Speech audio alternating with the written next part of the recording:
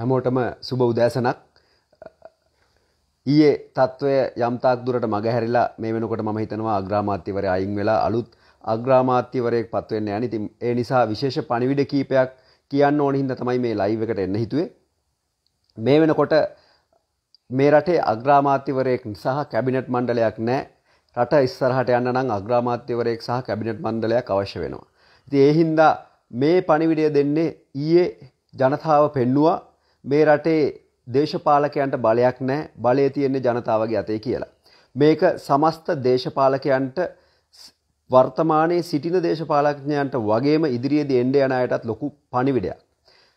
අද අග්‍රාමාත්‍ය ධූරය සඳහා කෙනෙක් නම් කරනකොට හෝ බාර ගන්න බලනකොට අනිවාර්යෙන්ම තමන් අදක්ෂ නම් මේ අග්‍රාමාත්‍යකම බාර ගන්න එපා කියලා අපි ජනතාව විදියට කියනවා.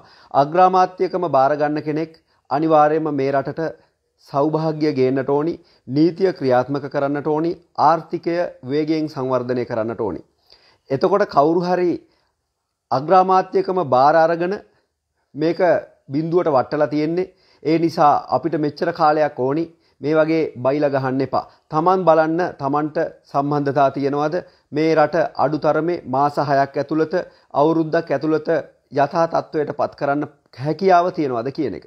එහෙම නැත්නම් ඒක කරන්න පුළුවන් කෙනෙකුට දීලා කරුණාකරලා ඒක බාර ගන්න එපා. ඒ වගේම කැබිනට් අමාත්‍යාංශ බාර ගන්න අයටත් කියනවා මෙතනින් එහාට හොරා කන්න ලෑස්ති වෙන්න එපා. හොරා කන්නේ නැතුව අවංකවම Tamanට ලබා දෙන අමාත්‍යාංශය ලාභ ලබන අමාත්‍යංශයක් බවට පත් කරන්න ක්‍රමවේද තියෙනවා නම් විතරක් අනිවාර්යයෙන්ම කැබිනට් අමාත්‍යංශ බාර ගන්න. එහෙම නැත්නම් කැබිනට් අමාත්‍යංශ බාර ගන්න එපා. ඒක නිසා කැබිනට් අමාත්‍යවරු 10 දෙනෙක්ගෙන් හරි මේ රට ඉස්සරහට අරගෙන යන්න පුළුවන් මිනිස්සුන්ට විතරක් අවස්ථාව ලබා දෙන්න. කිසිම දේශපාලඥයෙක්ව මෙතනින් එහාට නිකන් නඩත්තු කරන්න මේ රටේ ජනතාව ලෑස්ති නැහැ. ඒ වගේම අදක්ෂ මිනිස්සු කිසිම දෙයක් බැරි මිනිස්සු දේශපාලනයට ඒම තුළ ඔවුන්ට අත්තුන ඉරණම අපි ඊය දැක්කා. ඒ නිසා මේ පණිවිඩය හැපුළුවන් හැම වෙලාවෙම ෂයා කරන්න සාමාන්‍ය ජනතාවත් දැනුවත් වෙන්න. අපිට රටට පාර්ලිමේන්තුවක් ඕනි පාර්ලිමේන්තුව තුළ කැබිනට් මණ්ඩලයක් සහ අග්‍රාමාත්‍යවරයෙක් ඕන. ඊළඟට වැදගත්ම කාරණය. මේ අරගලය ආරම්භ කරේ ගෝටා ගෝහෝම් කියලා. ඒ නිසා මේ අරගලය අවසන් වෙන්නෙත් ගෝටහබේ රාජපක්ෂත් ගෙදර ගියාට පස්සේ. හැබැයි ගෙදර යන්න දීපු කාලේ ඉවරයි. දැන් ගෝඨාභය රාජපක්ෂ ඇතුළු රාජපක්ෂ නදිය නඩය යන්න ඕන වෙන්නේ හිරේට. ඒ නිසා මේ වෙනකොට ඔවුන් උත්සාහ කරනවා මේ රටින් පැනලා යන්න. එයාපෝට් එකේ ඉන්න වැඩ කරන අය වගේම ජනතාව ඒකට ලෑස්ති වෙලා ඉන්නවා. ආරංචියක් තියෙනවා හම්බන්තොට එයාපෝට් එකේ හිටපු අයව එළියට දාලා හමුදාව ඇවිල්ලා හම්බන්තොට එයාපෝට් එකට ආවා කියලා. හැබැයි ඊයේ දැක්ක හමුදාවේ පොලිසිය නිලධාරීනුත් ජනතාවට ලොකු බලපෑමක් කරන්න නැතුව පුළුවන් තරන් ජනතාවගේ අභිලාසයන්ට ඉඩ දෙනවා ඉතින් එහින්ද හමුදාව පොලිසිය නිලධාරෙන්ටත් අපි කියනවා මේ දූෂිතයන්ට මේ රටෙන් පැනල යන්න දෙන්න එපා. ඔබගේ සහය දෙන්න එපා මොකද මේගොල්ලෝ ගියහම අර ඊයේ ඇමතිලාට මන්ත්‍රීලාට වෙච්චි විපාකයම ඔබටත් වෙන්න පුළුවන්. ඒ නිසා මේ වෙලාවෙනම් රාජපක්ෂලා ආරක්ෂා කරන්න කිසිම කෙනෙක් මේ වෙලාවේ රාජපක්ෂලා ආරක්ෂා කරන්න උත්සාහ කරන්න එපා. ඔවුන්ට මේ රටින් පැනලා යන්න කිසිම අවස්ථාවක් තියන්න එපා. ඒ නිසා සාමාන්‍ය ජනතාව අවදියෙන් ඉන්න. ඇඳිරි නීතිය දාලා අපි නීතියට ගරු කරනවා. අපි නීතියට ගරු කරන්න ඕනි. හැබැයි ඇඳිරි නීතිය දාලා ඒකේ අරමුණ රාජපක්ෂවලු රටින් පැනලා යන එක නම් ඒක වෙන්නේ නැහැ. මොකද රාජපක්ෂවලුන්ට පැනලා යන්න නම් අනිවාර්යයෙන්ම කාගේ හරි සහායක් අවශ්‍යම වෙනවා. ඒ නිසා රත්මලාන එයාපෝට් එකේ ඉන්න හමුදාවේ නිලධාරීන්ට වගේම සාමාන්‍යයටත් අපි කියනවා ඔබට තොරතුරක් ආවොත් සමාජ මාධ්‍ය හරහා හරි WhatsApp පණිවිඩයක් හරි ඕන විදියකට අපිට දැනුම් දෙන්න. අපි හැකි ඉක්මනින් ඒකට ක්‍රියා කරන්න. ඒ වගේම ඕනම හමුදා කඳවුරක ඉන්නව රාජපක්ෂලට අකමැති සොල්දාදුව. පුළුවන් තරම් මේ මැසේජ් එක පාස් කරන්න. රාජපක්ෂලට පැනලා යන්න දෙන්න එපා මේ රටේ.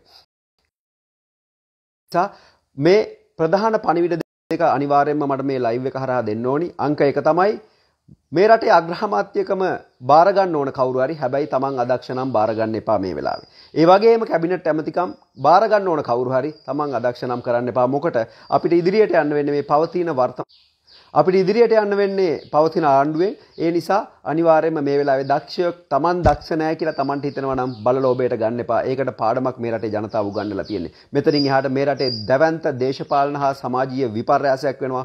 හොරුන්ට කඩේ යන ජනතාවක් මේ රටේ බිහි වෙන්නේ නැහැ.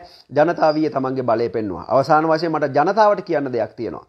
අපිට අවශ්‍ය වෙන්නේ සිස්ටම් එක වෙනස් කරන්න. අපිට අවශ්‍ය වෙන්නේ මේ රට වෙනස් කරන්න. අපිට අවශ්‍ය වෙන්නේ බොහොම විනයානුකූලව මේ රට සංවර්ධනය කරන්න. ඉතින් අපි ඉන්නේ දැවැන්ත ඩොලර් අර්බුදයක.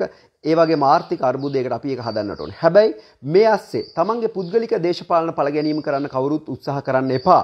අපි මේ වෙලාවේ ඊයේ අපි පහර දුන්නේ අපේ ගෝල් ෆේස් පිටියට ඇවිල්ලා මහින්ද රාජපක්ෂගේ ගෙදරට ඇවිල්ලා ඇවිල්ලා අපේ අහිංසක තරුණ තරුණියන්ට ගහපු අයට හොඳ පාඩම් ඉගැන්නුවා. ඒ විතරක් නෙමෙයි මේකට අනුබල දීපු දේශපාලඥයන්ට අපි හොඳ පාඩම් ඉගැන්නුවා. ඒ වගේම මේකට අනුබල දීපු ප්‍රාය සභා මන්ත්‍රීවරුන්ට අපි මේක හොඳ පාඩම් ඉගැන්නුවා. හැබැයි එහෙම කියලා ඔබේ දේශපාලන මතයට ගරු නොකරපු ගමේ කෙනාට ගහන්න යන්න එපා. එහෙම කියලා ඔබේ දේශපාලනයට මත ගරු නොකරපු හරි ඔබේ පුද්ගලික ප්‍රශ්න තියෙන මහින්ද රාජපක්ෂට ඡන්දෙ දීපු ගමේ මිනිසුන්ට ගහන්න යන්න එපා. අපිට අවශ්‍යතාවය තියෙන්නේ මේක අවශ්‍යපයුන් ටික හොයාගන්න විතරයි. ඒක නිසා දේශපාලන පරිගැනීම් වලට මේක අවස්ථාවක් කරගන්න එපා. මේ රට හදන්න නම් අපි විනයානුකූල වෙන්න ඕනේ. ඒ නිසා මේ පණිවිඩය මම හැමෝටම දෙනවා. මේ රට අපි අනිවාර්යයෙන්ම හදනවා. ඊයට හරියටම මාසයයි මේ අරගලය ගෝල් ෆේස් පිටියේ පරන් අරන් අපි විශාල ජයග්‍රහණ ගොඩක් ලබා ගත්තා. ඒ හැම ජයග්‍රහණයකම අපිට පෙනුනේ අපේ තිබ්බ ඉවසීම. ඒ වගේම මේගොල්ලෝ හදිසි නීතිය දාද්දි ජාත්‍යන්තරයේ අපේ පැත්තේ හිටියේ අපි ඉවසීමෙන් සාමකාමීව මේක කරපු නිසා.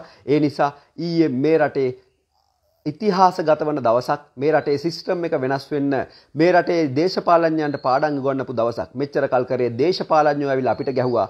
හැබැයි ඊයේ අපි ගිහිල්ලා දේශපාලඥයන්ට මේ පාඩම හොඳටම ඉගැන්නුවා. තාමත් මොවුන් සැඟවිලා ඉන්නේ. ඒක නිසා මේ රටේ හොරා කාපු එක සතයක්වත් එක දේශපාලඥයෙකුටවත් අනාගතයේ අත්විඳින්න ඉඩ දෙන්නේ නැහැ. අවස්ථාවක් දෙමු හොරා කාපුවා පුළුවන් නම් අපිට ආපහු ලබා දෙන්න කියලා. මේක හැමෝටම පොදුයි. ඒ නිසා දැනට ඉන්න 225 ඉතුරු වෙන අයට කියනවා බොහොම සාමකාමීව මිනිසුන්ගේ පැත්ත හිතලා තීරණ ගන්න.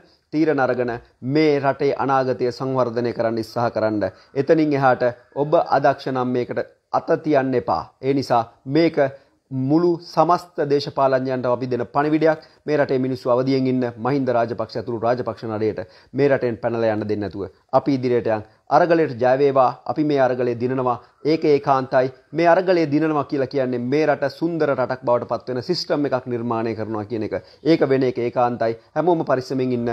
හැමෝටම ජය වේවා. අරගලයට ජය වේවා.